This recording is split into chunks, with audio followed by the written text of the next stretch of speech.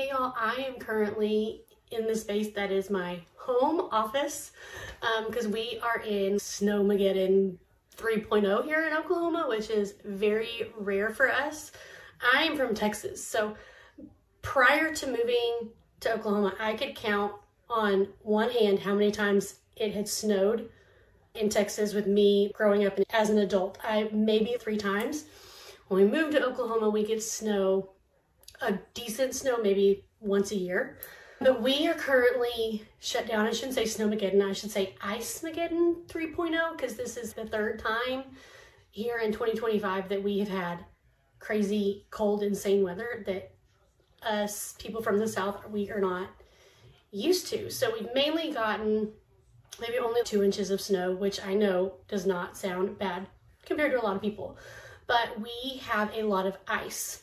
Our roads are solid ice. We are in a very rural area, so we don't have salt trucks or things like that because we don't really need them here. But it's currently two degrees outside, feels negative 18. We were off on Monday because of President's Day. I didn't think of what day it was because of President's Day. But then we were out yesterday and today because of ice and temperatures. And then we're waiting to see if we are going to even have school tomorrow. It was really funny. I posted in my Facebook group yesterday. I said, who is out because of this crazy weather? And people were posting who live in northern states, Minnesota, North Dakota, all of that how it felt negative 52 and kids were hanging out at the bus stop and I'm, oh my gosh. So here on the days that we, obviously we do have school, if is below 32 degrees, we cannot take our kids outside for recess. There were all of these comments about um, we can't go outside if it's below zero, and I'm, I just would not survive in a northern state. I would take our 105 degree weather days over this 10 degree negative temperature days any day. With that being said, I have been off, so I'm using this time to clean up my office space. It's become a catch-all since I went back into the classroom. So I'm cleaning up and then today we're gonna be talking about word problems. I posted this poll right here on my Instagram yesterday asking teachers if you realized that there is more than two types of word problems. There's not just addition and subtraction. There's actually 11 different types of word problems that kids are exposed to by the end of second grade. And that is what we are gonna be talking about today. So I am gonna finish cleaning up my area right here and then we're gonna dive in and get started.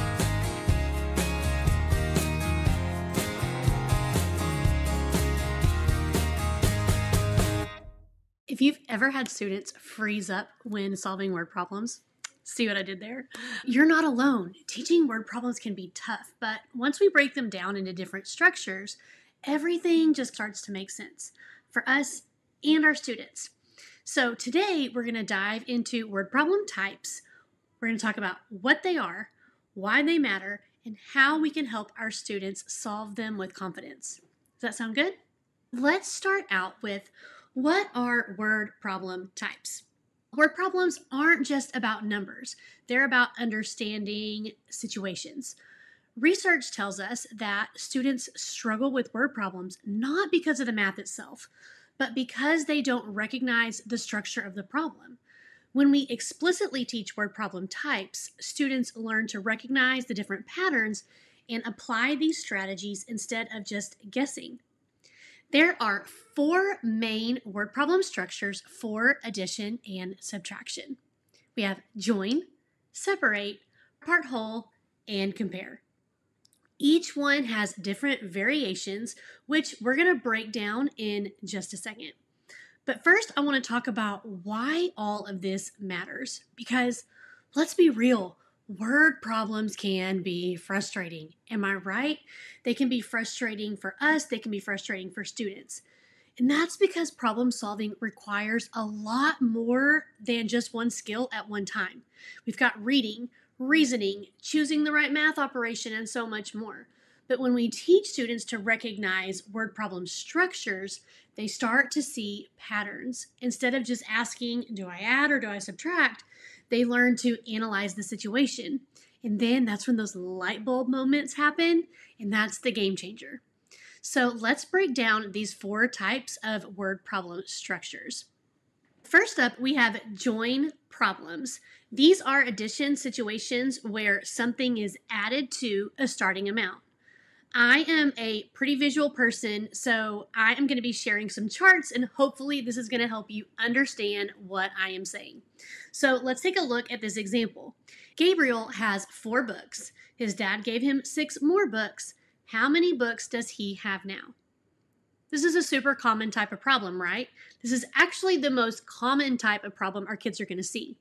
But there are three variations of join problems. We have results unknown, change unknown, and start unknown. Results unknown problems, the example that I just showed you, are when a student is solving for the total or sum. These types of problems, something is being added on to or onto something else. Then we have change unknown problems. These are different and involve missing addends. We know the start and end of a problem, but not what is being added. Your students are going to need to set this up for a missing add in problem in order to solve for the missing number. We also have start unknown problems. These are very similar, except here we do not know the starting number, but what we do know is what is being added on, and we know the result. Up next, we have separate problems, which are just the opposite. Instead of adding something, is being taken away. In this example, we have Madison has nine books. She loses six of them. How many books does Madison have now? Again, we have three different variations. We have result unknown, change unknown, and start unknown. Result unknown problems, the example, is solving for the final amount. Change and start unknown problems are when a missing number is involved. Change unknown problems, we know the start and we know the end, but we do not know the number that was removed in the problem. Start unknown problems, we know what was removed and we know the result, but we don't know the starting number. Each separate problem has a different action. Therefore, the strategy to solve them is very different. There are other two types of word problems. They are part whole and compare. These types of problems are different because there is no direct action involved. Let's talk about part whole problems. These are different because they do not involve a change over time. There is no direct or implied action. Since one number is not joined to another, both sets or numbers have the same role within the problem. These problems either give two parts and ask to find the whole, or they give only one part and the whole and ask the solver to find the other part what you're going to notice is that nothing is being added onto. Let's look at some examples. There are three blue crayons and five red crayons on the table. How many crayons are there in all? This is a whole unknown problem. Here we have two parts and they need to be able to find the whole. The blue crayons and the red crayons have the same thing within the problem. Nothing is being added to them. This is what makes them different from a join type problem. For part unknown, there is no implied action. We have the whole, but one of the parts is missing. Because the actions are different, so will the strategy to solve for each problem type. Now, last up, we have compare problems. These focus on comparing two amounts to find the difference. Compare problems like part part whole involve relationships between quantities rather than joining or separating an action.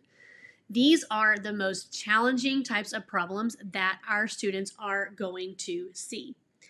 Now, I'm not going to read every single one of these problems, but you can see that compare problems deal with how many more and how many fewer.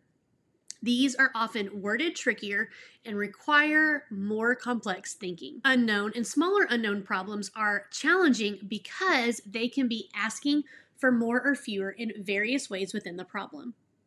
With bigger unknown problems, we know the smaller number and difference, but we don't know the larger number. With smaller unknown problems, we know the larger number and we know the difference, but we don't know the smaller number. Ah, that sounds so confusing, right? because that was a lot. But by knowing these structures can make a huge difference for our students.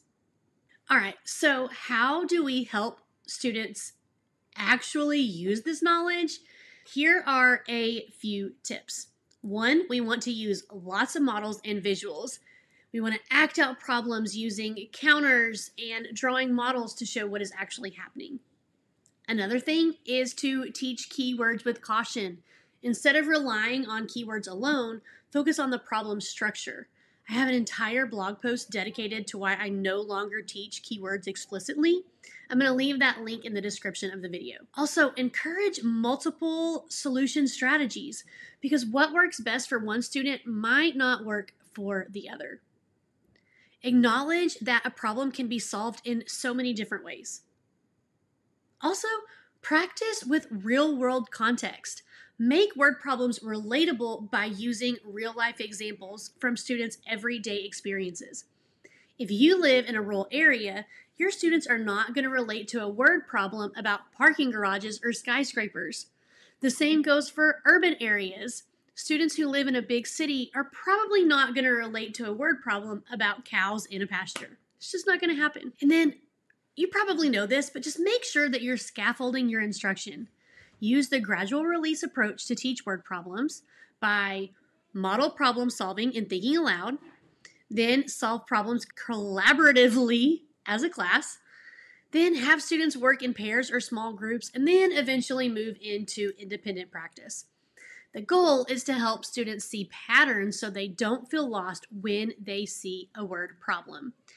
I have so many blog posts and YouTube videos all about different word problem strategies. I'm going to drop some links in the description.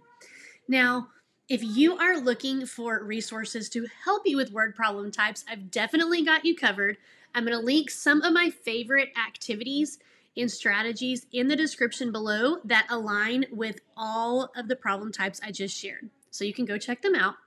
And also, did you know that you can get instant access to all of my first, second, and third grade math resources, including my word problem practice, inside of the Inner Circle Math membership?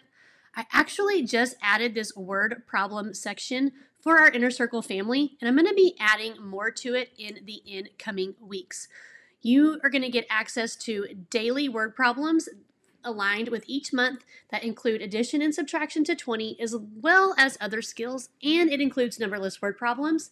Then, over the next couple of days, I'm going to be adding all of my resources that align with all of the word problem types that I just shared.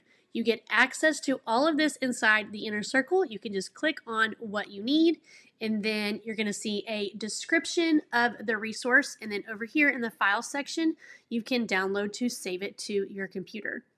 That's just one of the many resources you have access to inside of the Inner Circle Math membership. You can check out the link in the description to learn more about the Inner Circle and join today. And also, if this video was helpful, be sure to subscribe and hit that bell so you don't miss out on any future tips. Thanks for hanging out with me today, and I will see you guys in the next video. You'll have a blessed one. Bye.